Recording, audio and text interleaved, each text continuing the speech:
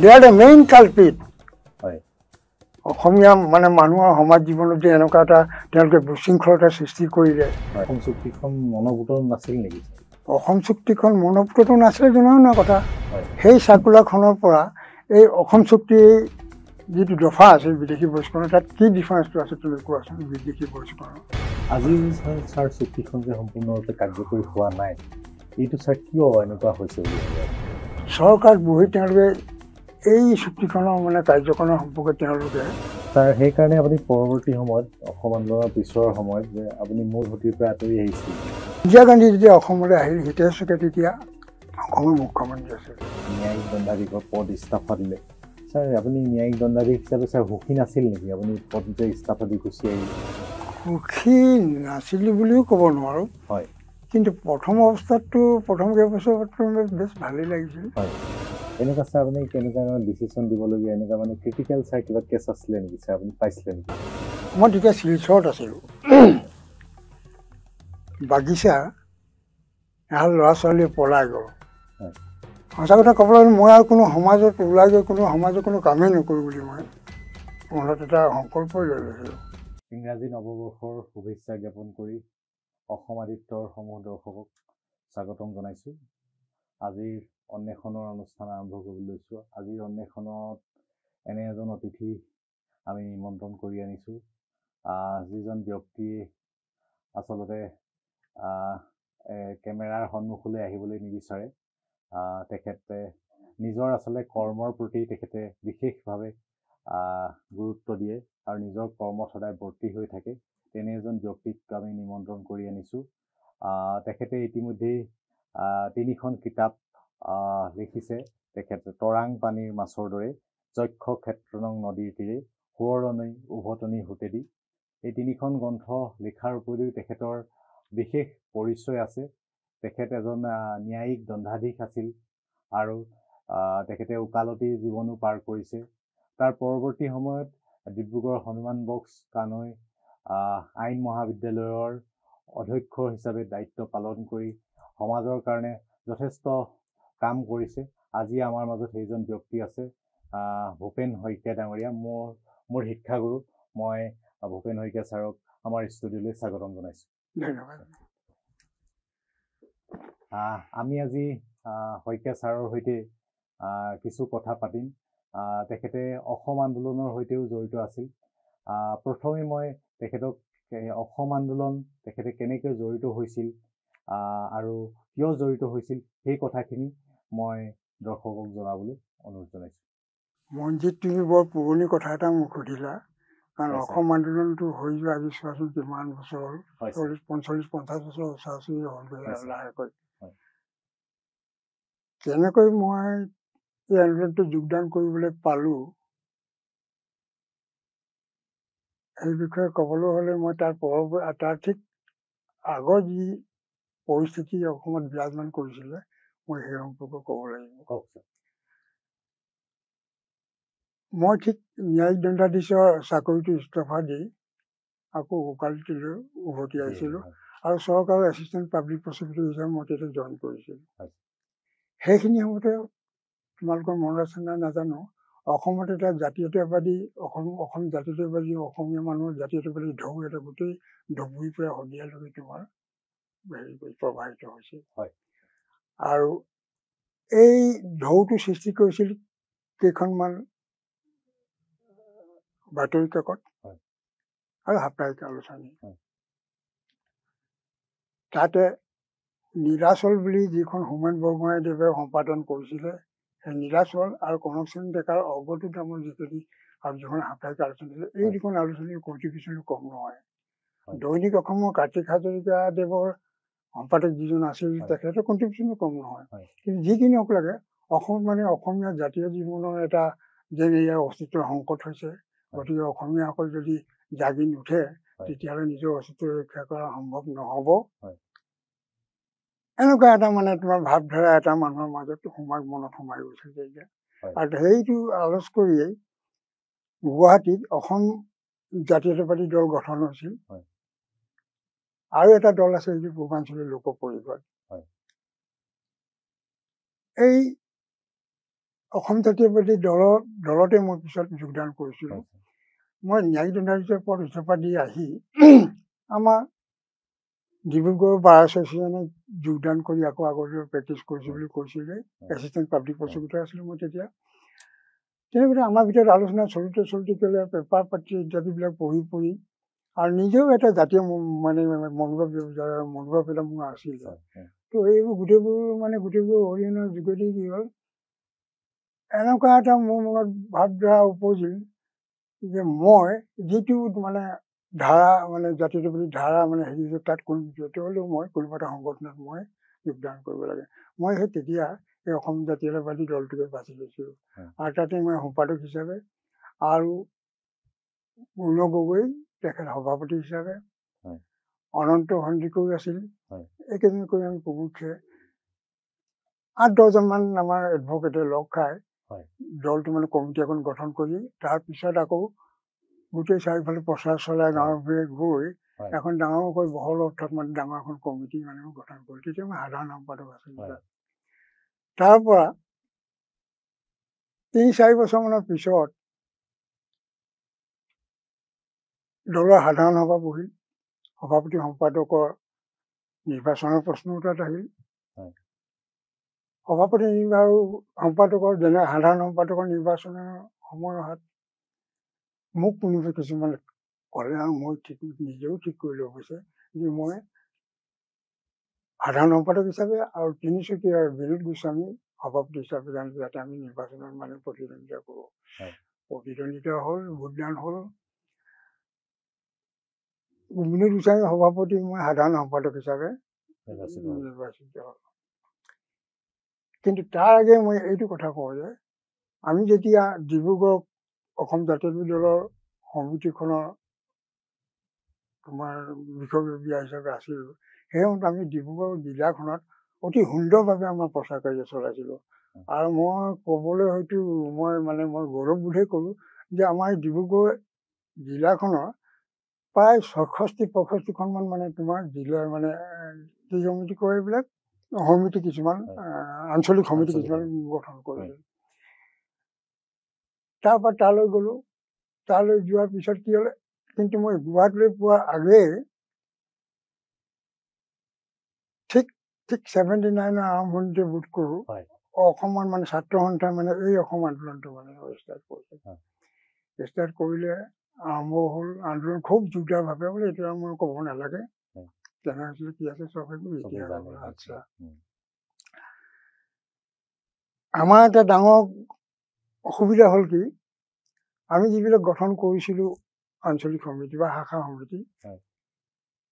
সেই সমিতিবিলাকৰ ওপৰত নিৰ্ভৰ কৰিয়েই আছুৱেও তেওঁলোকৰ কি কৰিলে তেওঁলোকৰ চলা আন্দোলনটোত এইবিলাকো অংশীদাৰ কৰি ল'লে। আমি তেতিয়া অংশীদাৰিত্ব ল'বলৈ আমি পিছ হোৱা নাছিলোঁ আমি ক'লো হ'ব। কিন্তু আমাৰ অসুবিধা এটা ডাঙৰ হ'ল কি যেতিয়া আছুৱে ক'লে যে কোনো ৰাজনীতিক দলে সভা সমিতি আদি পাতিব নোৱাৰিব কেৱল মাত্ৰ আন্দোলনতে তেওঁলোকে নিয়োজিত হৈ থাকিব লাগিব আৰু আমাৰ গোটেইবিলাক দল কেইটামান লৈ তেওঁলোকে কি কৰিলে গণ সংগ্ৰাম পৰিষদ বুলি এখন পৰিষদ গঠন কৰিলে আমাৰ ফালৰ পৰা সভাপতি সাধাৰণ সম্পাদক তাত সদস্য হ'ল আমাৰ দলৰ বিৰাট শৰ্মা পিছলৈ। মন্ত্ৰী হৈছিলে আৰু পূৰ্বাঞ্চলীয় লোক পৰিষদৰ অতুল বৰা। তেওঁলোক মানে আহ্বায়ক হৈছিলে আছিলে আহ্বায়ক আছিলে তাত তেনেকৈ চলিছে কিন্তু আমি যিহেতু কোনো ধৰণৰ আমাৰ প্ৰচাৰ কাৰ্য বা প্ৰসাৰণ কাৰ্য এইবোৰ চলাবলৈ আমাৰ সম্ভৱ হোৱা নাছিল। আচলতে বাধা নিষেধ আছিল। তেনেকৈ চলিলে। তেতিয়া তাৰপিছত কি হ'ল হেৰিটো সোনকালে চলি আছে। নিৰ্বাণ বৰা তেতিয়া তাত এই পূৰ্বাঞ্চল লোক পৰিষদৰ সভাপতি আছিলে। আৰু আছু বা এই গোটেই আন্দোলনটো তেখেতে একেবাৰে উপদেষ্টা আছিলে বা। পৰামৰ্শদাতা আছিলে অভিজ্ঞ মানুহ নাম জ্বলা মানুহ চোকা মানুহ। ঊনৈছশ তিৰাশী চনত নেকি ইন্দিৰা গান্ধী অসমলৈ আহিছিল হয়। আন্দোলনকাৰীসকলৰ দাবী আছিল যে বিদেশী নাগৰিকক বহিষ্কাৰ কৰিবই লাগিব। আৰু সেইটো ঊনৈছশ পঁচপন্ন চনৰ যিখন ভোটাৰ তালিকা তাৰ ওপৰত ভিত্তি কৰিহে। মানে এই চিনাক্তকৰণ কাৰ্য হ'ব লাগিব আৰু। বহিষ্কাৰ কৰিব লাগিব ইন্দিৰা গান্ধী যেতিয়া অসমলৈ আহিল হিতেশ তেতিয়া অসমৰ মুখ্যমন্ত্ৰী আছিল আহি তেওঁলোকে ক'লে আহক এটা কাম কৰোঁ আপোনালোকৰ আন্দোলনটোৰ মতে আমি প্ৰথমে আৰম্ভণি এনেকৈ কৰোঁ প্ৰথমে আহক আমি এসত্তৰ চনৰ পিছৰ পৰা পঁচিছ মাৰ্চৰ পিছৰ পৰা যিবিলাক বিদেশী আহিছে পিছত সেইবিলাকক আমি প্ৰথমে চিনাক্ত কৰোঁ। সেইখিনি চিনাক্ত কৰাৰ পিছত বহিষ্কাৰ কৰাৰ পিছত আমি ঊনৈছশ চৌষষ্ঠি চনৰ পৰা আমি আকৌ চিনাক্তকৰণৰ কাম আৰম্ভ কৰিম। তেনেকৈ আমি পৰ্যায়ক্ৰমে এইখিনি চিনাক্তকৰণ কৰি কৰি কৰি কৰি বহিষ্কাৰ কৰি কৰি আমি আগুৱাই যাওঁ তেওঁৰ প্ৰস্তাৱটো মোৰ কিন্তু বৰ মনপুত আছে মানে বিষয়টো ইমান জটিল আছিলে সেইটো সময়ত যে একতা চনৰ আগফালে এনেকৈ তাৰ আগলৈ যোৱা ছয়ষষ্ঠি চন বা পঞ্চাছ চনলৈ যোৱাটো কথাটো বেলেগেই কথা। পৰিস্থিতি এনেকুৱা আছিল যে অসমৰ এই বিদেশীসকলৰ অনুপ্ৰৱেশ ইমান বেছি সংখ্যক ইতিমধ্যে হৈ পৰিছিল যে চিনাক্ত কৰি এই পঞ্চাছ চনৰ পৰাই বহিষ্কাৰ কৰাটো সম্ভৱ নহয়। তো ইন্দিৰা গান্ধীয়ে যেতিয়া কয় যে আহক আমি ঊনৈছশ এসত্তৰ চনৰ পঁচিছ মাৰ্চৰ পিছত অহা বিদেশীসকলক আমি বহিষ্কাৰ কৰোঁ তাৰপিছত আগুৱাই যাম। তেতিয়া কিন্তু অসম মানে আছুৱেই হওক বা গণসংগ্ৰাম পৰিষদেই হওক তেওঁলোকে পোনচাতে নৌ বুলি ক'লে হ'বই নোৱাৰে। আমি নামানো এইটো। একদম পঁচপন্ন চনৰ ভোটাৰ তালিকাৰ পৰা হেৰি হ'ব লাগিব। ভোজখন হ'ব লাগিব। এই তেনেকৈ থাকিলে যদি তেতিয়া যেতিয়া ৰিফিউজ কৰিলে বা অগ্ৰাহ্য কৰিলে ইন্দিৰা গান্ধীৰ প্ৰস্তাৱ সেই তেতিয়াৰ পৰা ইন্দিৰা গান্ধীয়ে মানে অসম আন্দোলনৰ বিষয়টোত মানে তেওঁ মানে আগ্ৰহটো মানে মনোযোগ দিয়া আগ্ৰহটো তেওঁ নোহোৱা হৈ গ'লগৈ আপোনাৰ অসম চুক্তিখন মনোভূত নাছিল নেকি অসম চুক্তিখন মনোভূতটো নাছিলে জনাও না কথা। কি কাৰণে তোমাক মই কৈ দিছো জনতা চৰকাৰ যেতিয়া আছিলে ভাৰতত তেতিয়া মোৰাজী দেশাই দিনতে এখন চাৰ্কুলাৰ দিছিলে। বাংলাদেশ ক্ৰিয়েশ্যন হোৱাৰ পিছত। এখন চাৰ্কুলাৰ এই বুলি দিছিলে যে ঊনৈছশ এসত্তৰ চনৰ পঁচিছ মাৰ্চৰ পিছত যিবিলাক বিদেশী মানে বাংলাদেশে অনুপ্ৰয়োগ কৰিছে তেওঁলোকক চিনাক্ত কৰি বহিষ্কাৰ কৰক। সেইটো নিজে গাইছিলে চাৰ্কুলাৰ অসম চৰকাৰলৈ আৰু সেইমতে কাম কৰিছিলে নে মই নাজানো। কিন্তু সেইটো সেইমতে কামটো কৰা উচিত আছিল। যি কি নহওক লাগে সেই চাৰ্কুলাৰখনৰ পৰা এই অসম চুক্তিৰ যিটো দফা আছিল বিদেশী বহিষ্কৰণ তাত কি ডিফাৰেঞ্চটো আছে তুমি কোৱাচোন বিদেশী বহিষ্কৰণ তাত আছে যে ঊনৈছশ এসত্তৰ চনৰ পঁচিছ মাৰ্চৰ পিছত অহা বিদেশীসকলে চিনাক্ত বহিষ্কাৰ কৰা। ইয়াত কি কৈছে? ঊনৈছশ এসত্তৰ চনৰ পঁচিছ মাৰ্চৰ পিছত অহা পিছত অহা তোমাৰ অনুপ্ৰৱেশকাৰীসকলক বহিষ্কাৰ কৰি চিনাক্তকৰণ কৰি বহিষ্কাৰ তাৰ ভিতৰত ডিফাৰেঞ্চটো কি পালা? ঊনৈছশ চৌষষ্ঠি চনৰ পৰা এই যে এসত্তৰ চনলৈকে মানে এসত্তৰ ঊনৈছশ এসত্তৰ চনৰ পঁচিছ মাৰ্চৰ আগৰ যিখিনি আহিছে ঊনৈছশ চৌষষ্ঠি পিছৰ চনৰ পিছৰ পৰা সেইখিনি চিনাক্তকৰণ কি কৰিব? তেওঁলোকক দহ বছৰৰ কাৰণে তেওঁলোকক কি কৰিব? নাগৰিকত্বহীন কৰি থব তাৰপিছত তেওঁলোকক আকৌ ভাৰতীয়কৰণ মানে নাগৰিকত্ব নাগৰিকত্ব দি ভাৰতীয়কৰণ কৰিলে হৈ যাব। তাত তোমাৰ থাকিলে কি তুমি কোৱাচোন মই কেনেকে একচেপ্ট কৰিম এখন লাভ কেতিয়াও হয় মানুহ? বিদেশী বহিষ্কৰণ আজিলৈকে হ'ল নে? তেতিয়া যদি ইন্দিৰা গান্ধীৰ যদি সেইটো প্ৰস্তাৱটো আমি মানি ললোহেঁতেন বা আছে মানি ললোহেঁতেন তেতিয়া অন্তত এসত্তৰ চনৰ পিছৰ পৰা সেইটো হ'লেহেঁতেন। সাতষষ্ঠি ছয়ষষ্ঠি চনলৈকে আমি আগুৱাই গৈ থাকিব পাৰিলো সেইখিনি হোৱাৰ পিছত। আৰু শান্তি পাবৰ বাবে কেন্দ্ৰীয় চৰকাৰৰ সহযোগত হ'লহেঁতেন সেইটো মই এইটো কোৱা নাই যে মই কেন্দ্ৰীয় চৰকাৰৰ লগত হাত মিলাবলৈ কৈছো কিন্তু অন্তত কিছুমান ক্ষেত্ৰত এৰা ধৰা কৰি অলপমান বুদ্ধিৰে আগবাঢ়ি আমি যাবই লাগিব। কমে অলপ হ'লে আমি কৰিব লাগিব। এই তাকে নকৰিলে কিন্তু নকৰক একো নাই কিন্তু যিটো যিখন চুক্তি কৰিলে সেইখন অসমীয়া মানুহৰ কাৰণে কোনো ধৰণৰ উপকাৰতে নাই। আজি ছাৰ চুক্তিখন যে সম্পূৰ্ণৰূপে কাৰ্যকৰী হোৱা নাই এইটো ছাৰ কিয় এনেকুৱা হৈছে বুলি ভাবে আপুনি? ইয়াৰ মই প্ৰধান মই মই ভাবো কি এই যে আছুৱে হয় এই চুক্তিখন সম্পাদন কৰি তেওঁলোকে যে চৰকাৰত বহিলে চৰকাৰত বহি তেওঁলোকে এই চুক্তিখনৰ মানে কাৰ্যকৰণৰ সম্পৰ্কে তেওঁলোকে ভাল এটা কাৰ্যকৰী ব্যৱস্থা গ্ৰহণ কৰিব লাগিছিল। অকল তেওঁলোক তেওঁলোক চৰকাৰত গ'ল মই বুজিছো। কিন্তু তেওঁলোকৰ যিহেতু ডিৰেকশ্যনতে তেতিয়াও আছু আছিলে গতিকে আছু আন যিবিলাক মানে আন্দোলনকাৰী জনসাধাৰণ আছিলে সেই লোকৰ সেইবিলাকৰ লগত লগ হৈ মানে চোকা দৃষ্টি ৰাখিব লাগিছিল আৰু যেতিয়া যিহেতু কাৰ্যকৰণ হোৱা নাই গতিকে সেই কাৰ্যকৰণ কৰাৰ কাৰণে তেওঁলোকৰ ফালৰ পৰা হেঁচা দি দৰকাৰ পৰিলে আৰু এটা আন্দোলন তেওঁলোকে গঢ়ি তুলিব লাগিছিলে। কাৰণ তেতিয়াও তোমাৰ জনসাধাৰণৰ মনতে আন্দোলনৰ যিটো নিচা থাকে ন সেই নিচাটো তেতিয়াও আছিল তেওঁলোকক আকৌ পুনৰ জাগৃত কৰি এইখন। চুক্তি কৰিব লাগে বুলি। সময়ত যিসমূহ চুক্তিৰ পাছত যিসমূহে ধৰক চৰকাৰ চলালে আপুনি সেইসমূহ দোষাৰোপ কৰিব বিচাৰিছে হ'ব নিশ্চয় হয়। They are the main culprit হয়। অসমীয়া মানে মানুহৰ সমাজ জীৱনত যে এনেকুৱা এটা তেওঁলোকে বিশৃংখলতাৰ সৃষ্টি কৰিলে। আৰু আন্দোলন কৰাৰ নামত কিবা এটা দিয়াৰ নামত।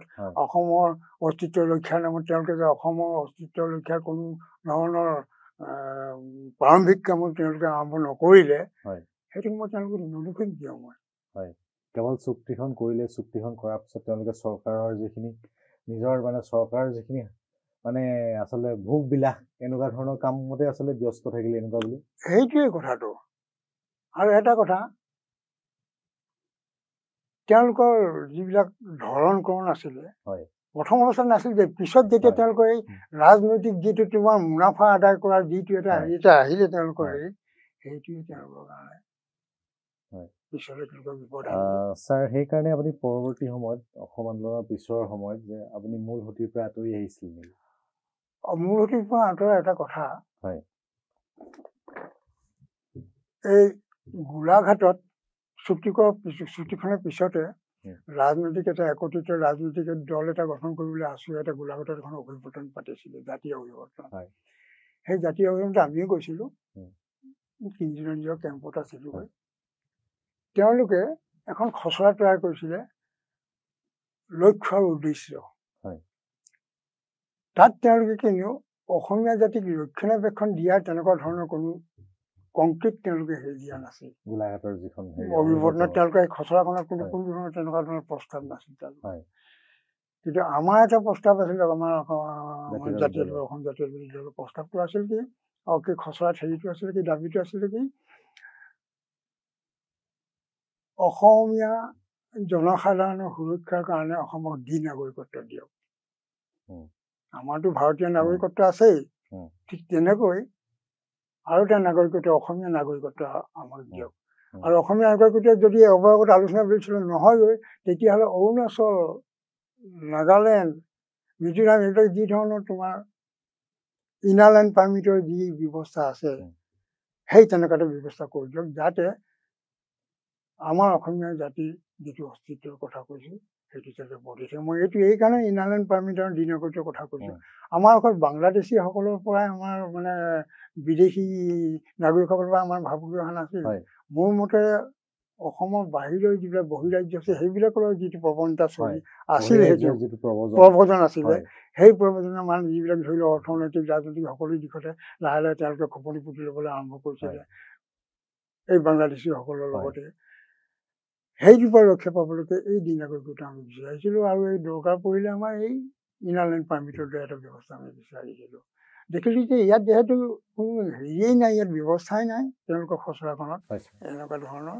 অসমীয়া জাতিৰ ৰক্ষা। কৰিব পৰা সেইকাৰণে দেখিলো যে নাই তেওঁলোকৰ হাতত আমাৰ অসমখন নিৰাপদ নহয় আৰু এইটো হেৰি কৰি মই গুণ গগৈ অৰূপ বৰদলৈ তাহানি বৰদলৈ বেছ নাম আছিলে হেৰি আছে থাকোঁতে দেই আন্দোলনৰ সময়ত হয়। বৰদলৈ এজন আহ্বায়ক আছিলে হেৰি নাহিলে গোপাল ডেকা জয় বৰুৱা ইত্যাদি ইত্যাদি কৰি আমি তাত জইন নকৰি গুচি আহিলোঁ আমি। আপোনালোকে সেই অভিৱৰ্তনতেই মানে আমি আঁতৰি গুচি। আহিলোঁ আঁতৰি গুচি আহিলোঁ তাৰ পৰা মুখ নকৰিলোঁ আজিলৈকে মুখ কৰা নাই আপোনালোক ছাৰ বহুত দূৰদৰ্শী আছিলে ছাৰ সেই সময়তে তেওঁলোকৰ আপোনালোকে চৰিত্ৰটো দেখি পালেই কাৰণ তেওঁলোকে চৰকাৰত অহাই নাই অভিৱৰ্তনতে আপোনালোকে গোটেই কথাবিলাক গম পাইছিলে তাৰ আগেও তাৰ। আগেও তেওঁলোকৰ যিহেতু মই গুৱাহাটীতে আছিলোঁ মই সাধাৰণ। সম্পাদক হৈ গুৱাহাটীত প্ৰায় চাৰে তিনি বছৰ চাৰি বছৰ আছিলোঁ। আৰু তেতিয়া ময়ো লক্ষ্য কৰিছিলোঁ ক'ত কি কৰে ক'ত কি নকৰে আৰু। ভিতৰুৱা খবৰ কিছুমান পাইছিলোঁ তেতিয়াই জানিছোঁ তেওঁলোকৰ হাতত আমাৰ জাতিটোৰ কোনো তেনেকুৱা ধৰণৰ নিৰাপদ নহয় এটা কথা ছাৰ আপোনাৰ পৰা জানিব পাৰিছোঁ যে অসম আন্দোলনৰ যিসকলে গুৰি ধৰিছিলে সেইসকলে পৰৱৰ্তী সময়ত চৰকাৰ গঠন কৰিলে। কিন্তু সেইসকলৰ অনীহা সেইসকলৰ নিজৰ লক্ষ্যত উপনীত হ'বৰ কাৰণে নিজৰ ভোগ বিলাসৰ কাৰণে যিবিলাক তেওঁলোকে চিন্তা চৰ্চা কৰিলে সস্তীয়া যিবিলাক মানসিকতাৰে কাম কৰিলে সেই মানসিকতাৰ বাবেই প্ৰকৃততে যে আমাৰ অসমীয়া মানুহখিনিয়ে আজি যিটো অসম চুক্তিখনৰ জৰিয়তে যিখিনি পাব লাগে সেইখিনি আচলতে নাপায়। ছাৰ এতিয়া আমি আপোনাৰ ছাৰ ব্যক্তিগত কিছু কথা সুধিম। আপুনি ছাৰ অলপ আগতে কৈছে যে আপুনি ন্যায়িক দণ্ডাধীশৰ পদ ইস্তফা দিলে। ছাৰ আপুনি ন্যায়িক দণ্ডাধীশ হিচাপে ছাৰ সুখী নাছিল নেকি? আপুনি পদ যে ইস্তফা দি গুচি আহিলে? সুখী নাছিলো বুলিও ক'ব নোৱাৰো। হয়। কিন্তু প্ৰথম অৱস্থাততো প্ৰথম কেইবছৰতো মোৰ বেছ ভালেই লাগিছিল। হয়। কিন্তু লাহে লাহে লাহে লাহে মোৰ চৰিত্ৰটো কি হ'ল? নিজে মানে স্বভাৱ এটা আছে মই একেঠাইতে বৰ বেছি দিন থাকিব নোৱাৰো হয়। যিটো ইংৰাজীত মানে শ্বৰ্ট স্পেন এটেনশ্যন বুলি কয়। বুজিছে না এটা কাম কৰিলো নাই যেতিয়া একঘেয়া লাগি যায় মোৰ তাতে আমনি নহ'লে। অঁ কথা সেইটো গতিকে এতিয়া একঘেয়েমীয়া হৈ যায় আৰু তাৰোপৰি মই ইতিমধ্যে বিয়া কৰালো আৰু। শিলচৰত আছিলো তেতিয়া তালৈ নিবও নোৱাৰে ভাড়া ঘৰৰ হেৰি। এইবিলাক হেৰি কৰি মই পিছত দেখিলো যে ডিব্ৰুগড়ৰ বাৰলৈ যদি বাহিৰৰ মানুহ আহি মানে বাহিৰ মানে কি ডিব্ৰুগড়ৰ বাহিৰৰ মানুহে যদি এষ্টাব্লিছ হ'ব মই বোলো ঘৰৰ কাষতে মোৰ আদালতটো হয়। মইনো তাত মই হেৰি কৰিব নোৱাৰিম কিয় আৰু। তাৰোপৰি মোৰ পৰিবাৰে তেতিয়া মানে গভৰ্ণমেণ্ট স্কুলত তেওঁ চাকৰি কৰিছে হয়, হায়াৰ ছেকেণ্ডেৰী। গতিকে মই দেখিলো তেওঁ মোৰ যেতিয়া এটা। অৱলম্বন হ'বই অৰ্থনৈতিক। দিশত। মইনো আকৌ আৰম্ভ নকৰিবই কিয়। আৰু মই এতিয়া স্বাধীন মানে অকমান মানে মুকলিমূৰীয়া জীৱনটো হৈছে আৰু। দণ্ডাধীশ হ'ব লাগিলে কি হ'ল সমাজৰ লগত মিলা মিছা কৰিব নোৱাৰে। কৰিব নোৱাৰে। মানে মানে পদবীটোৰ কাৰণে।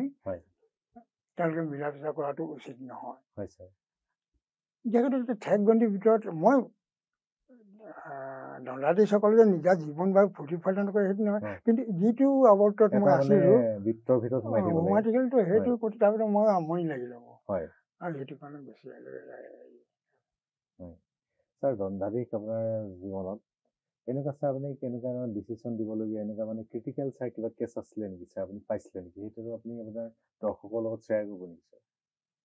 ক্ৰিটিকেল মানে কি? ক্ৰিটিকেল ধৰণৰ ক্ৰিটিকেল বুলি নহয়।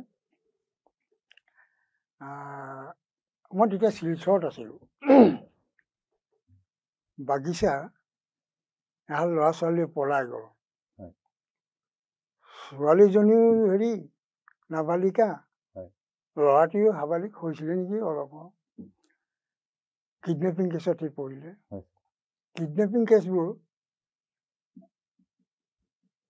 কিছুমান ক্ষেত্ৰত মানে ছেচনছ আদালতে বিচাৰ কৰে। তেতিয়াৰ দিনত দেই সেইটো। সময়ত এইটো বিচাৰ কৰাৰ কাৰণে কি হ'ল এইটো কমিটেল প্ৰচিডিং বুলি কয় প্ৰথমতে আমিয়ে কৰো বিচাৰটো। কমিটেল প্ৰচিডিং কয় তাক। সাঁচি পাতি লৈ আমি যদি দেখো। যে ইয়াত বিচাৰ চলাবলৈ যথেষ্ট সমল আছে তেতিয়া আমি সেই আদালতে বিচাৰৰ বাবে কেছ গোচৰটো ছেচনছ আদালতলৈ পঠাই দিওঁ। এইটোকে কমিটমেণ্ট কৰা কয় হয়। এইবোৰ কমিটেল কেছ আছে মই পাতি ললো। লৈ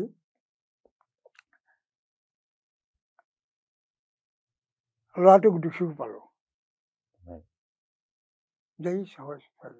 কিন্তু ডাঙৰ কথাটো কি হ'ল গম পাইছা নাই। ইতিমধ্যে যদিও সিহঁতে পুলিচে ধৰিলে গোচৰত তেওঁলোকক বিচাৰৰ বাবে হাজিৰো কৰালে মই ইতিমধ্যে ময়ো সিহঁতৰ বিৰুদ্ধে সময় পাই কেছটো ছেচন ছেচন আদালতলৈ পঠাই দিলো। কিন্তু মই সেই ছেচন আদালতলৈ পঠাই দিয়া সময়লৈকে তেওঁলোকে কি কয় ঘৰ সংসাৰ কৰি মানে ল'ৰা ছোৱালীয়ে জন্ম হ'ল। ল'ৰা নে ছোৱালী এটা জন্ম। আৰু সেই মই কমিট কৰাৰ সময়ত বাপেকটোৱে মানে ল'ৰাটোৱে কিডনেপত সি মানে পিঠিত সেই কেঁচুৱাটো মানে বান্ধি আছিলে ওচৰলৈ ঘৰ আছিলে সিহঁতে ইতিমধ্যে সংসাৰ কৰি পাঁচ ছবছৰ সাত বছৰ হৈ গ'ল। আৰু মোৰতো উপায় নাই মোৰ হাত বন্ধা। সেই পলুৱাই নিয়াৰ সময়খিনি পিছলৈতো মই আহিব নোৱাৰো। সিহঁতে কেনেকৈ কি কৰিলে সংসাৰ কৰিলে আমুক কৰিলে। মই যেতিয়া কমিটেল কৰি সিহঁতক পুলিচক লৈ যাবলৈ ক'লো পুলিচে লৈ যাওঁতে কি হ'ল সিহঁত দুটা এনেকৈ চোৱা মানুহজনী আৰু হেৰিয়ে ল'ৰাটোৱে ওলাই গৈছে মোক দেখি কিবা মানে চকু পানী ওলোৱা নিচিনা হৈছিলে। এই ল'ৰাটো কি কৰিব মানুহজনী। ল'ৰাটো তেতিয়া জেলত থাকিব। তেতিয়া কি হ'ল তোমাক মই এটা কিতাপ এখনৰ কথা কওঁ দেই ল ইজ এছ বুলি কিতাপ এখন আছে দেই। ল গাধা বুলি। এটা গাধা। ইয়াত তোমাৰ সেই অলিভাৰ টুইষ্ট নামৰ কিতাপ এখন আছে নহয়। হয়। অলিভাৰ টুইষ্টৰ আমাক ক'লে ডিকেন্সলৈ পায় চাৰ্লছ ডিকেন্সে লিখা অলিভাৰ টুইষ্টত তাত এটা হেৰি আছে জাজে বিচাৰ কৰিছে হয়। বিচাৰ কৰাৰ পিছত হয়। এওঁক ক'লে যে এওঁক কিবা এটা হেৰি এটা হ'ল আৰু হয় যে তোমাৰ ঘৈণীয়ে তোমাক উচতাই দিছিলে হয়। সেইকাৰণে তোমাৰ এনেকুৱা হ'ল। তেতিয়া ইয়াৰ খং উঠি গ'ল মনে মনে হয়। নিজৰ উকিলজনক কৈছে যদি মোৰ ঘৈণীয়েকে মোক উচতাই দিছে বুলি কোৱাই লয় তেতিয়াহ'লে লয় যে এছ। বুজিছে নাই। মোৰো সিদিনা। যেতিয়া ল'ৰাটো গুচি গৈছে নহয় অ, পিঠিত মানে কেঁচুৱাটো বান্ধি তেতিয়া মোৰ তেতিয়া মনত পৰিছিলে। তেতিয়া এনেকুৱা লাগিছে যেন লয় যে এছ। আপোনাৰ কাৰণে সেইটো ছাৰ কঠিন নাছিলে কঠিন সময় আছিলে। কঠিন সময় এইটো। বহুত হয়। হেৰি কিন্তু আপুনি ছাৰ ল'টোও ছাৰ এভইড কৰিব নোৱাৰে। কিন্তু ইফালে ছাৰ মানৱীয়তাৰ কথাটো আহি গৈছে। মানৱীয়তাৰ কথাটো আহিছে কিন্তু মানৱীয়তাত মই এইটো মানৱীয়তাটো আপুনি তাত প্ৰয়োগ কৰিব নোৱাৰে নোৱাৰো। কাগজে পত্ৰ যি আছে। ডকুমেণ্ট যি আছে আপুনি যিখিনি পাইছে। সেইটোৰ ওপৰতে ছাৰ নিৰ্ভৰ কৰিব মই আৰু এটা কথা কৈছো হয়। দেই মই তেতিয়া নগাঁৱত আছিলো এশ পঞ্চল্লিছ ধাৰাৰ গোচৰ হয় মানে হয়। মানে তোমাৰ দখল সম্পৰ্কীয় হয় মানুহজনীয়ে দৰখাস্ত দিলে বা ওৱান ফৰ্টি ফাইভ কেছ এটা গোচৰ আমাৰ আদালতত দিলে ঠিকেই। কিন্তু তাৰ চপৰ্টত কি হ'ল কোনো ধৰণৰ এফিডেভিট বা সাক্ষ্যপাতি একো নিদিলে। আৰু যিজন মানুহে দখল কৰি লৈছিলে বুলি কৈছে। সেই মানুহজনৰ আগত তোমাৰ আৰ্থিক অৱস্থা বৰ ভাল। বেছ ধনী মানুহ বুলিয়ে ক'ব লাগিব। তেওঁৱে দখল কৰি লৈছে বুলি দিছিলেহি মই সাক্ষী পাতিলো এইফালৰ পৰা কিন্তু কোনো ধৰণৰ এফিডেভিট এখনতো নিদিলে কোনো উকিলো নধৰিলে মই কোৱা স্বত্তেও বাৰ বাৰ একোৱে নকৰিলে আৰু সিজনে কিন্তু দস্তুৰ মতে এফিডেভিট টেফিডেভিট সাক্ষ্য তাকে দি তেওঁ যে হেৰি আছে আমোক তামোক কাগজ পত্ৰ দেখুৱাই তেওঁ। মোৰ আগত হেৰি দিলে গতিকে মই যেতিয়া গোচৰটো বিচাৰ কৰিলো তেতিয়া দেখিলো এইজনী যিহেতু একোতেই দিয়া নাই মানুহগৰাকীয়ে। গতিকে তেওঁৰ বিৰুদ্ধে মই কোনো ধৰণৰ দিবই নোৱাৰো কাৰণ। তেওঁৰ এভিডেঞ্চ তেওঁৰ বেছি গধুৰ হয়। হয় নাই বাৰু। গতিকে নেচাৰেলি মই মানুহজনৰ মানে। সপক্ষে মই। দখল আছে বুলি ৰায়দান কৰিলো। ৰায়দান কৰি ওলাই যোৱাৰ পিছত মানুহ এই মানুহজনী চিঞৰি বাখৰি মানুহগৰাকী একদম মোক সজীৱ মোক মাৰি দিয়ক মোক গুলি মাৰি দিয়ক মই এতিয়া এমাদিমা ল'ৰা ছোৱালীয়ে মই কেনেকে থাকিম কি কৰিম গোটেই গোটেই গোটেই চাৰিওফালে মানুহ জমা হৈ গ'ল মানুহগৰাকী চিঞৰ ঘৰ কান্দিছে ঢকিয়াইছে হয়। বুকুত ঢকিয়াইছে মাটিত বহি ঢকিয়াইছে মই কি কৰিম কি কৰিম। মোৰ প্ৰেছকাৰ আছিলে মহাবক মহাবক মই ক'লো কি কৰা যায় বোলে, মই ছাৰ আপুনি আমাৰ পিছফালে দুৱাৰ আছিলে যে উম। বোলে আপুনি পিছফালে যাওক ছাৰ। মই সেইফালে গুচি আহিলো কি হ'ল নাজানো আমাৰ পিছত সেইটো মোৰ বৰ ডাঙৰ হেৰি তেনেকুৱা ধৰণৰ আচলতে এনেকুৱা মানে এটা প্ৰফেশ্যনত তেনেকুৱা ধৰণৰ উপায় নাছিলে। মানে। আচল কথা কি আচলতে। যিটো বুজিছো মানুহগৰাকীয়ে যে মাতি সেইটো মই নিশ্চিত। আৰু এই ধনী মানুহজনীয়ে যে মানুহজনে যে বুদ্ধি টুদ্ধি কৰি যেনেকে মাটি টুকুৰা দখল। কৰি লৈছে সেইটো মই নিশ্চিত। কিন্তু মই এতিয়া কৰো কি কাগজে পত্ৰই কি কৈছে এভিডেঞ্চে ছাৰ কি কৈছে সেইটোৱেতো কথা। তেওঁ এভিডেঞ্চ এটাও নিদিলে হয়। নহয় এভিডেঞ্চ নাই নহয় মানে তাই টকা পইচা নাই আচল। কথা। সেইটো কাৰণে নোৱাৰিলে সেইকেইটা কেছ কেতিয়াবা মনত পৰি থাকে মোৰ। মাজে মাজে ছাৰ এনেকুৱা ছাৰ আমোদজনক ঘটনা আছে নেকি ছাৰ আপোনাৰ মানে দণ্ডাধীশৰ জীৱনত যিটো মানে শ্বেয়াৰ কৰি চাই অলপ ভাল পাব ছাৰ আমোদজনক আছে কিছুমান কিন্তু সেইবিলাকো খুব বেছি মনত নাছিলে হয়। কিন্তু এটা ঘটনা মোৰ মনত আছে কেছ। এটা এই মৰা মাৰপিটৰ কেছ হয়। বুজিছানে হয়। মাৰপিটৰ কেছটোত হ'ল কি মানুহ এটা হোলা এটা আছিলে হোলাটোত পানী আছিলে। সিপাৰে হোলাটোৰ সিপাৰে মানুহটোক কোনোবাই মাৰি পেলাই দিলে। পেলাই পেলাই জখম কৰি থৈছিলে এই হয়। মানুহগৰাকীয়াকে এইফালে হোলা পাৰ হৈ গৈ মানুহটোক মানে চিঞৰ বাখৰ কৰি মই এনেকে লৈ আনিলো মানুহটোক। দাঙি আনিলো এনে তেনে কৰি ঠিক তেনেকুৱাতে আন কোনোবা এজনে সুধিলে মানে কৰি ইটো অপপক্ষ অধিবক্তা সুধিলে ইমান ডাঙৰ মানুহটো আপুনি লৈ আনিলে আপোনাৰ ইমানটো কেনেকে আপুনি হোলা পাৰ কৰে আনিলে মানুহবোৰে কৈছে "ও, সেইটোতো মানুহ নাই বোলে বুজিছে না এই বুলি ক'লে গিৰিয়েকটো মানে তললে তাকে লাজতে আহি বুজিছে নে উম, অ, তো গিৰিয়ে কৈছে ই এইটোতো মানুহ নে বোলে হয়। মই সেইটো জীৱন মই আৰু পাহৰিব নোৱাৰিম যিটো মাত ঔ বুলি ক'লে হয়। নহয় সম্পূৰ্ণ গাঁৱলীয়া এটা মাত। এইবোৰ কথা তেনেকুৱা ধৰণৰ হয়। আৰু আছে কিছুমান। এইবিলাক অলপমান অশ্লীল ধৰণৰ হাঁহি উঠে ন হয়, ডাউট হয়। কিন্তু অলপ অশ্লীল কথা কৈতো কিছুমান তেনেকুৱা ধৰণৰ কথা গতিকে এইবিলাকে ক'ব। নোৱাৰি। বেলেগে হেৰি কৰিলে বেলেগ ছাৰ সুন্দৰ ছাৰ আপোনাৰ ন্যায়িক দণ্ডাধীশৰ জীৱনৰ মানে সুন্দৰ কিছুমান মানে স্মৃতি আছে ছাৰ। সেইবিলাক স্মৃতি আপুনি লৈ আছে। কিছুমান স্মৃতি ছাৰ হয়তো ছাৰ এতিয়া যিবিলাক ক্ৰিটিকেল মই ক'লোঁ কেছটোৱে আপোনাক আমনিও কৰিছে। এনেকুৱা ধৰণৰ ধৰক কেছবিলাকে আপোনাক ধৰক আহ, কেতিয়াবা ছাৰ মনত ছাৰ সেইবিলাক ভাবিলে ছাৰ আনন্দ আহে। মই তোমাক কৈ দিওঁ এই যে। মানুহগৰাকীৰ কথা কৈছা চিঞৰি আছিলে যে হয়। মোক মাৰি দিয়ক গুলি কৰি দিয়ক বুলি মোৰ সেইটো এতিয়াও মোৰ মনত হেৰি কৰি হয় থাকে। ছাৰ। মোক তাই হাও দিছে হাও দিছে নিশ্চয় তাই ছাৰ মই আন এটা কথা সুধিম ছাৰ। আপুনি ছাৰ যিখিনি আইনৰে আপুনি দুটা আপুনি প্ৰফেশ্যনত কাম কৰিলে এটা ওকালতি জীৱন আৰু এটা আপোনাৰ ন্যায়াধীশ জীৱন। ইয়াত তিনিটা আছে তোমাক ক'ম দেই। এটা ন্যায়াধীশ হিচাপে মই কৰিলোৱে। ডিফেন্স লয়াৰ হিচাপে মই কৰিছোঁ। প্ৰচিকিউটৰ হিচাপে মই কাম কৰিছোঁ। প্ৰচিকিউটৰ প্ৰচিকিউশ্যন কৰা দুটা আছে। এই যে ছাৰ তিনিটা আপোনাৰ যে ন্যায়িক জীৱনৰ মাজত যে আপুনি যে পাৰ কৰিলে এই সময়ছোৱাত ছাৰ আপুনি কোনখিনি কাম কৰি আচলতে ভাল পাইছিলে? কোনখিনি কামত আপুনি বেছি সন্তুষ্ট হৈছিলে? আৰু কিয় সন্তুষ্ট হৈছিলে? সন্তুষ্ট মই দণ্ডাধীশ ন্যায়িক দণ্ডাধীশ হৈ থাকোঁতে সন্তুষ্ট হোৱা নাছিলোঁ এইটো নহয়। হয়। সন্তুষ্ট ছাৰ ঠিক নহয় ধৰক আপুনি প্ৰিয় আপোনাৰ কোনটো আছিলে মানে বেছি প্ৰিয় ছাৰ? প্ৰিয়টো তাৰ তাত চাগে এটা প্ৰিয়? নাই তাৰ পৰা মই বাছি হা? উলিয়াব নোৱাৰিম সেইটো কাৰণে। হয়। প্ৰত্যেকটোৱে মানে মোৰ কাৰণে এটা চেলেঞ্জে আছিল দিয়াচোন বাৰু। আৰু যিটো কামে মই কৈছিলোঁ অতি নিষ্ঠাৰে কৰিছিলোঁ গতিকে নিষ্ঠা যেতিয়া থাকে তাত কাম কৰি আনন্দও পায় মই ডিফেন্স লয়াৰ হিচাপেও কিছুমান কাম কৰিলোঁ কিন্তু বেছিকৈ মই প্ৰচিকিউটৰ হিচাপে প্ৰায় বিছ পঁচিছ বছৰমান থাকিলোঁ। প্ৰচিকিউটৰ হিচাপে। চৰকাৰৰ। সেইটোৱে। আৰু সেই প্ৰচিকিউটৰটোৱে হয়। মোক মই মানে হট হিচাপে জীয়াই থকাত কিন্তু মোক বহুতখিনি। দণ্ডাধীশ হিচাপেতো কৰিলে সেইটো বেলেগ কথা।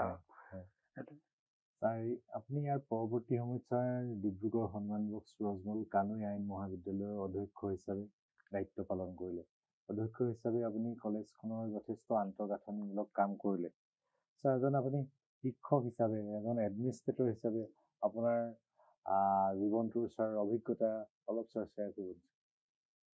শিক্ষক হিচাপে ছাত্ৰ ছাত্ৰীৰ লগত শিক্ষা দিয়া শিক্ষা প্ৰদান কৰাৰ সময়ত আদান প্ৰদান কৰি এটা যে বেলেগ অনুভৱ এটা হয় সেইটো শিক্ষক মাত্ৰ সকলোৱে জানিব।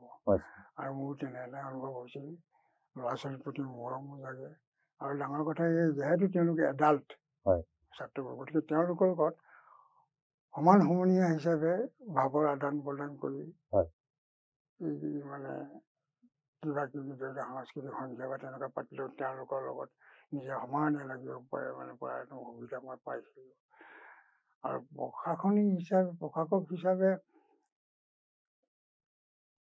তুমি ক'লাই। আন্তঃগাঁথনি মই কলেজখন বৰ বেয়া অৱস্থাত মই পাইছিলোঁ। তথাপিও সকলোৱে সহযোগিতাত ঈশ্বৰৰ আশীৰ্বাদত বহুতখিনি বাধা বিঘিনি আছিলে বাৰ কাউঞ্চিলে তিনিবাৰ নে কেইবাৰ আমাক আমাৰ কি কয় এইটো. ৰিকগনিশ্যন তোমাৰ হেৰি কৰি দিছিলে। তথাপি সেইবিলাক আকৌ যিবিলাক আমাৰ অভাৱ আছিল সেইবিলাক আমি পূৰ্ণ কৰিলোঁ এল এল এমৰ তেতিয়া কোনো অসমত নাছিলেই বুলি ক'ৰবাত দুই এটা। ক'ৰবাত থাকে কিন্তু পিছত যেতিয়া এল এল এম সকলো লাহে লাহে অসমতো মানে হেৰি হ'ব ধৰিলে আৱিৰ্ভাৱ হ'ব ধৰিলে তেতিয়া এল এল এমৰো তেওঁলোকৰ কিছুমান তেনেধৰণে আমাৰ ইয়াত নিয়োগ কৰি মানে বাৰ কাউঞ্চিলে যেনেকুৱা ধৰণৰ তোমাৰ ইনফ্ৰাষ্ট্ৰাকচাৰ বিচাৰে যেনেকুৱা ধৰণে তেওঁলোকৰ নীতি নিয়মেৰে শিক্ষা প্ৰদান কাৰ্যত শিক্ষকে চলাব লাগে আজি ধৰক বাৰ কাউঞ্চিলে ছাৰ যিখিনি নতুন নীতি নিয়ম বান্ধি দিলে সেইখিনি ছাৰ অভাৱ দূৰীকৰণ কৰি নতুন প্ৰিন্সিপালক দায়িত্ব দিয়াৰ ক্ষেত্ৰত আপোনাৰ ছাৰ গুৰু দায়িত্ব আছে। গুৰুত্বপূৰ্ণ আপুনি ভূমিকা গ্ৰহণ মই ক'ব পাৰোঁ মই না মই সেইটো ক'বলৈ মই অলপ দ্বিধাবোধ হয়। নকৰোঁ আৰু লজ্জাবোধ নকৰোঁ মই কৰিছোঁ যিখিনি মই কৰিছোঁ বুলি কৈছোঁ আৰু চকুৰ আগত। তোমালোকে দেখিলে তুমি তেতিয়া ষ্টুডেণ্ট হৈ আছিলা। তোমালোকে কলেজখনৰ অৱস্থা কি আছিলে জানা নহয় হয়। সৰ্বানন্দ সোণোৱালৰ তালৈ গৈ তোমাৰ। লগত তোমাৰ জৰিয়তে মই। কেনেকৈ এক লাখ টকা অনুদান বিচাৰি আনিছিলোঁ লোকেল এৰিয়া ডেভেলপমেণ্ট ফাণ্ডৰ পৰা। তাৰ কিছু বছৰৰ পিছতে তেনেকৈ মই আগবাঢ়ি গৈ গৈ কিছু বছৰ পিছতে আকৌ তেওঁৰ পৰা এক লাখ টকা। অনুদান হিচাপে আনিছিলোঁ সেইটো কথা তুমি জানা। আৰু তুমি কলেজটো মানে ইনফ্ৰাষ্ট্ৰাকচাৰ যি ডেভেলপমেণ্ট গৈ আছে সেই খলপাবোৰ তুমি নিজে দেখি গৈ আছা। গতিকে তোমাক মই কি ক'ম কিন্তু তথাপি কওঁ হয় এই এনে এখন কলেজ সম্পূৰ্ণ তোমাৰ ইনফ্ৰাষ্ট্ৰাকচাৰৰ সৈতে শিক্ষকৰ সৈতে যাৱতীয় আচাৰ পত্ৰ কৌটত নোট ক'ত কৰিবৰ কাৰণে কৌট ইত্যাদিৰ সৈতে মই তাত যে পিছৰ প্ৰিন্সিপালজনক গতাই থৈ আহিব পাৰিলোঁ মই আনপাল নহয় তাতে মই সন্তুষ্ট হয় ছাৰ আপুনি কানৈ আইন মহাবিদ্যালয়ৰ অধ্যক্ষ হিচাপে কানৈ কলেজৰ যথেষ্ট আন্তঃগাঁথনি গঢ়ি গঢ়ি তুলিলে সেইখিনি কথা সদায় শলাগ ল'বই লাগিব। ইয়াৰ পাছত ছাৰ আপুনি ছাৰ তাৰ পৰৱৰ্তী সময়ত আপুনি আপোনাৰ সাহিত্যৰ প্ৰতি ছাৰটো ৰাপ আছে আপোনাৰ লেখা মেলাৰ ধৰণ কৰণবিলাকেই কয় কিন্তু আপুনি গোটেই কথাখিনি আচলতে নিজে আচলতে মানে এটা মানে কিয় ছাৰ মানে গোটেই প্ৰচাৰ বিমুখ হৈ থাকিব বিচাৰে সেইটো নাজানো আৰু আপুনি নিজে সেইটো ক'লেও বেয়া পাব আপুনি যে মোক প্ৰচাৰ বিমুখ বুলি নাভাবিবা মই হীনমন্যতাত ভোগো বুলি নাভাবিবা এনেকুৱা ধৰণে আপুনি মোক কৈছে। মই ছাৰ সেইটো কথা বুজো ছাৰ আপুনি যে মানে কেৱল হীনমন্যতাত নভোগে আপুনি হীনমন্যতাত ভুগিব পৰা ব্যক্তি নহয় ফেচ কৰিব পৰা সমাজৰ সৈতে সকলো কথা ফেচ কিন্তু আপুনি তথাপিতো ছাৰ এই যে আপুনি অসম আন্দোলনৰ পিছৰ পৰা ছাৰ কিবা মূল সুঁতিৰ পৰা যে আপুনি আঁতৰি থাকিলে তাৰ পৰৱৰ্তী সময়ত আজি আপুনি ইমান লেখা মেলা কৰাৰ পাছতো আপুনি তিনিখনকৈ কিতাপ লিখিলে। তৰাং পানীৰ মাছৰ দৰে যক্ষ ক্ষেত্ৰৰ নদীৰ তীৰে পুৰণি উভতনি হোটেলি তিনিখন কিতাপ লিখাৰ পাছতো আপুনি কিন্তু এই ওলাই আহি ছাৰ মই যে এনেকৈ কিতাপ লিখিছোঁ বা কিবা এটা প্ৰচাৰ আপুনি কৰিব নিবিচাৰে এইটো ছাৰ কিয় ছাৰ আপোনাৰ এনেকুৱা অনুভৱ ছাৰ সেইটো মানসিক অকণমান ছেটবেক এটা মোৰ হৈছিলে ছেটবেক হৈছিলে মানে অসম আন্দোলন কৰাৰ পিছত। যেতিয়া একোতেই নহ'ল। মই একেবাৰে হতাশ হৈ পৰিছিলোঁ। তাৰপৰা এনে মনটো কিবা তিক্ততা মানে ভৰি পৰিছিলে মোৰ এনেকুৱা লাগিছিলে। আচুক আৰু এটা কথা আচুক ইমান অন্ধভাৱে মানে আমাৰ জনসাধাৰণে প্ৰথম অৱস্থাত তেনেকৈ সমৰ্থন দিয়াত মই বেয়া পোৱা নাছিলোঁ পিছত যেতিয়া ভাবি দেখিছোঁ এনেদৰে অন্ধভাৱে জনসাধাৰণে। সমৰ্থন দিয়াৰ কোনো কাৰণ নাই জনসাধাৰণৰ ওপৰতো ওপৰতো মই মানে বিতষ্ট হৈ পৰিছিলোঁ। কোনো কুৱেশ্যন নকৰাকৈ কোনো। প্ৰশ্ন নকৰাকৈ তেওঁলোকৰ এক্টিভিটিছবিলাক কাৰ্যকলাপবিলাক কোনো ধৰণৰ ব্যাখ্যা নকৰাকৈ চকু মুদি সেইটো কাৰণে মই সেইটো তেওঁলোকৰ বুলি গতিকে মই। সঁচা কথা ক'বলৈ গ'লে মই আৰু কোনো সমাজত ওলাই গৈ কোনো সমাজৰ কোনো কামেই নকৰোঁ বুলি মই মনত এটা সংকল্পই লৈ লৈছিলোঁ। সঁচা কথা ক'বলৈ। হ'লে আৰু তেনেকৈ থাকোঁতে থাকোঁতে থাকোঁতে কিছু বছৰ পিছত নাই মই এনেই থকানে কি হ'ব গতিকে মইনো মোৰ জীৱনটোনো কি পালোঁ মই কি হেৰি কৰিলোঁ তাক এনেই। জীৱনটোকে মই চমুকে লিপিবদ্ধ কৰি থওঁ বুলি মই তৰং পানী মাছৰ দৰে এখন লিখিলোঁ। তাৰপিছতে মোৰ কিতাপ লিখাৰ কোনো নাই মই কিতাপ পঢ়োঁ প্ৰকাশ কৰিছে ছাৰ হেৰি বাণীমন্দিৰে প্ৰকাশ কৰিছে মানে সেইখন যে মই নিজে প্ৰকাশ কৰিছিলোঁ আৰু। তুমি উন্মোচক আছিলে নেকি আৰু কোনোবা তুমি কৰিছিলে। যিকাৰণে নীতিখিনি হ'ব লাগে এইখন কিতাপ ডক্টৰ উপেন বৰা বুলি আমাৰ মিলনগড় এগৰাকী চিকিৎসক আছিলে। আৰু তেখেতৰ সহধৰ্মিনী মোৰ হৈ এওঁৰ লগত। বেচনালোক বন্ধু। তেওঁলোকৰ কিতাপখনে দিছিলে উম। উপেন ডক্টৰ উপেন বৰাই তেওঁলোক আকৌ বাণী মন্দিৰৰ লগত সম্বন্ধ আছে দেই কিবা। ডক্টৰ উপেন বৰাই কিতাপখন বৰ ভাল পালে মানে হয়। পাই বোলে এইখন ইয়াত কেলে থাকিব লাগে নাই পঠাব লাগে বুলি হয়। তেওঁলোকে পঠাই দিলে হয়। মাষ্টাৰ হেৰিটো। তেওঁলোকে প্ৰকাশ কৰিলে অসম আন্দোলনৰ আপোনাৰ হেৰি আছে পটভূমি আছে আছে। এখন ছাৰ ভাল উপন্যাস ছাৰ উপন্যাস মানে অট'বায়গ্ৰাফিয়েল অট'বায়গ্ৰাফিয়েল নভল হয় কিন্তু হয়। মোৰ জীৱনৰ কথা মই হয়। তাত তোমাক এটা কথা কওঁ দেই হয়। তাত এটা অসত্য কথা মই হয়। নাই হয়। সেইটো কথা ছাৰ তাৰ পাছত যে আপুনি যক্ষ ক্ষেত্ৰ নদী তীৰে দৃশ্য লিখে, ক্ষেত্ৰ হা? হয়, সেইখন ছাৰ কি কেনেকুৱা কিতাপ আছিলে ছাৰ মই ওঠৰ বছৰমানৰ আগতে লিখা দেই মোৰ সেইখন হয়। ৰামপানী মাধৱখন তাৰপিছতে মই এডিশ্যনেল পাব্লিক প্ৰচিকিউটৰ হিচাপে মই কাৰ্যভাৰ চলাই হয়। আছিলোঁ হয়। চলাই থাকোঁতে বহুত যেতিয়া সেইটো হেৰি কৰিলোঁ কাণে কলেজে যেতিয়া মই হেৰি কৰিলোঁ। কাণে কলেজে আহি তাৰপিছত মই অৱসৰ ল'লোঁ। তাৰপিছত মই কি কৰিম নাতি নাতি পুতিকেইটাৰ লগত অকণমান খেলি থাকোঁ আৰু। যিখিনি বোলে ঘপককৈ মন পৰিলে মই যে মোৰ জীৱনটো লিখিলোঁ। আমাৰ পিতাৰোতো ক'বলগীয়া বহুতখিনি আছিলে জীৱনটোত। বহুতো উত্থান। মইনো তেওঁৰ কাহিনীটো নিলিখোঁ কিয়। মই জনা কাৰোবাৰ পৰা শুনা। সেই তেতিয়া পিতাৰ জীৱনটো মই লিখিলোঁ আৰু জীৱনটোৰ লগতে ডিব্ৰুগড়ৰ সমসাময়িক যিটো হয়। পৰিৱেশ তেতিয়া। আছিলে হয়। আহ, গৰাখহনীয়া ধৰি লোৱা ভূমিকম্প মথাউৰি হৈ যাবা পিছপাৰ হৈ যায় ইত্যাদি ইত্যাদি সৈতে তেওঁৰ জীৱনটো এইবিলাক কথা হয়। এটা হেৰি এখন লিখিলোঁ মই। এখন বায়'গ্ৰাফিকেল নভেল হয় ছাৰ এতিয়া আপুনি শেহতীয়াকৈ ছাৰ এখন লিখিছে উভতনি হোটেল হয় সেইখনৰ পটভূমিটো এনেকুৱা ধৰণৰ হ'ল মই মোৰ বিষয়ে লিখিলোঁ। মই লিপিবদ্ধ কৰিলোঁ। আমাৰ পিতা প্লাছ আমাৰ পৰিয়ালটোৰ সম্পৰ্কে সম্পৰ্কে মই লিপিবদ্ধ কৰিলোঁ কিন্তু আমাৰ গাঁওখনৰ আৰু কিছুমান মানুহ থাকি গ'ল নহয় হয়। মোৰ মনতে কিবা কিবা দুখী দুখী লাগিছে আমি হ'লে নিজকে কৰি ল'লোঁ। ৰেকৰ্ড কৰি ল'লোঁ সিহঁতক কেলৈ কৰা নাই গতিকে এই যে আৰু সিহঁতক যদি মই ৰেকৰ্ড কৰি মই এটাও দেখিলোঁ যে এই যে মই দেখিলোঁ যে তেওঁলোকক ৰেকৰ্ড কৰিলে যদি মই। ৰেকৰ্ড কৰোঁ তেতিয়া গোটেই মাইজানৰখনৰ সম্পৰ্কে মই এটা মাইজানৰ এখন প্ৰতিচ্ছবি। প্ৰতিচ্ছবি এটা মই তেওঁলোকে প্ৰতিচ্ছবি এখন মই তুলি ধৰিব পাৰিম। সেইটো কাৰণে আচ্ছা আপুনি ছাৰ ধৰক আপুনি মূল সুঁতিৰ পৰা আঁতৰিলে আপুনি সমাজৰ পৰা আঁতৰি আপুনি থাকিব বিচাৰিলে আপুনি গোটেই কথাবিলাকত হতাশ হ'ল। কিন্তু তাৰ পাছত ছাৰ আপুনি আকৌ ধৰক সমাজখনৰ মানে চিত্ৰ এখন দাঙি ধৰি সমাজৰ কথাই ছাৰ আপোনাৰ মনত এতিয়াও খেলাই আছে। আপুনি কিন্তু তথাপি ছাৰ আঁতৰি থাকে আৰু মই ছাৰ এইখন কিতাপ ছাৰ ওলোৱাৰ যেতিয়া প্ৰস্তুতি মই ছাৰ আপোনাক কৈছিলোঁ ছাৰ কিতাপখন উন্মোচন কৰিব লাগে। আপুনি কৈছিলে কৰিম বুলি। কিন্তু ছাৰ আপুনি এই কথা বতৰাবিলাকৰ ছাৰ কিয় আঁতৰত থাকে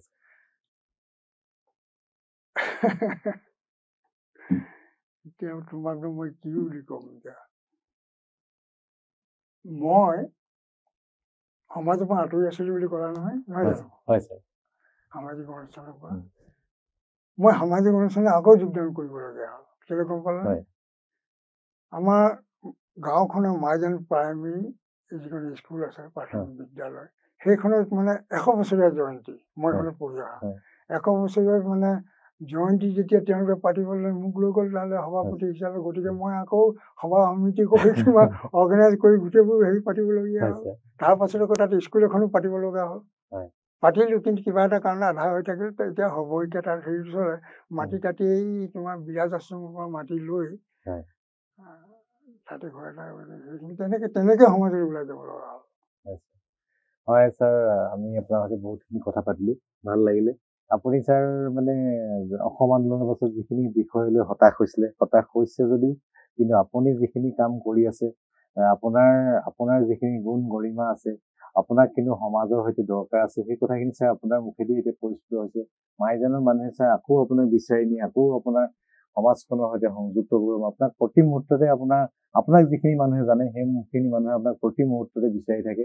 আপুনি ছাৰ সেইখিনি যাতে আকৌ যাতে মানুহৰ সৈতে পুৰা পূৰ্ণ সহযোগ কৰি সমাজখনৰ লগত থাকে। সমাজখনক ছাৰ আপোনাৰ নিচিনা মানুহৰ সম্পূৰ্ণ প্ৰয়োজন আছে। সমাজখনক আপোনাৰ নিচিনা মানুহে যদি নেতৃত্ব দি আগুৱাই নিয়ে নিশ্চিতভাৱে সমাজখন এটা সঠিক দিশত আগবাঢ়িব। আৰু আজি ছাৰ আপুনি আমাৰ ষ্টুডিঅ'ত এই বহুমূলীয়া সময় দিয়াৰ বাবে আপোনাক অশেষ কৃতজ্ঞতা জ্ঞাপন কৰিছোঁ। আৰু আজি অন্বেষণ অনুষ্ঠান ইমানতে সামৰণি মাৰিছোঁ। ধন্যবাদ। ধন্যবাদ।